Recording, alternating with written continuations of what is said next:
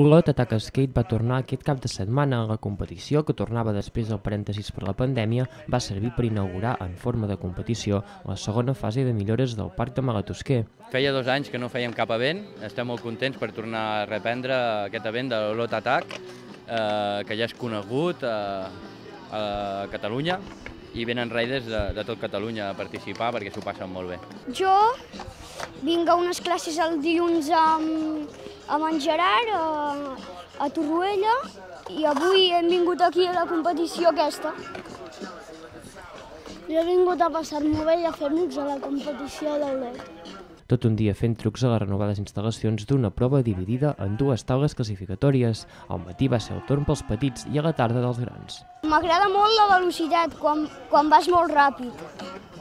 I, i també m'agrada saltar molt i, bueno, això. Jo més que res l'emoció quan faig alguna cosa nova i algun truc nou. Vale, va ser pivot grindant-lo, Joel, molt bé, anant tirant ràpid.